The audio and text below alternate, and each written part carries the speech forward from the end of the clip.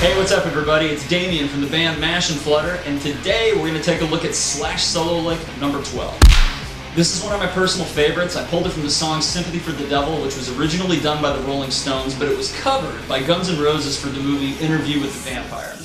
Uh, it's a really cool lick. It's a little tricky at first, but it's really rewarding once you get in there and you learn it. I think you guys will dig it. Check it out.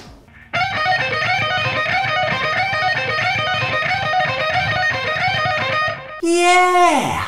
Alright, so here's the explanation to lick number 12. We're going to start with our index finger on the 12th fret of the high E string, but we're not actually going to play that note. We're just using that as an anchor for this lick. Where the lick really starts is we're going to use our pinky finger starting on the 14th fret of the high E. We're going to pick that note and then we're going to slide very quickly up to the 16th fret. So it sounds something like this. Okay?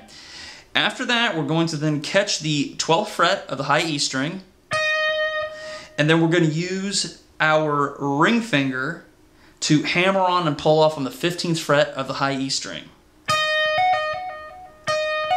So, so far we have this.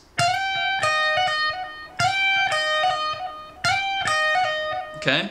Then we're going to hammer on to the 14th fret of the B string with our middle finger. We're going to pick that note, and then we're going to conclude the phrase by hitting the 12, the 12th fret of the high E string.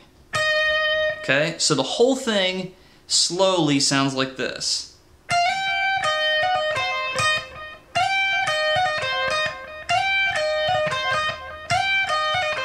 Okay, you got it? Yeah! So if we wanted to speed that up a little bit here cleanly, it's going to sound like this.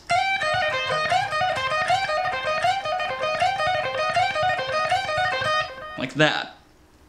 And the key to make this lick fluid and give it its give it its kind of funky quality is to make sure that when you repeat the phrase that you're almost kind of ahead of the beat with this with this slide. So with everything cranked up, it sounds something like this, slowly and then up to speed.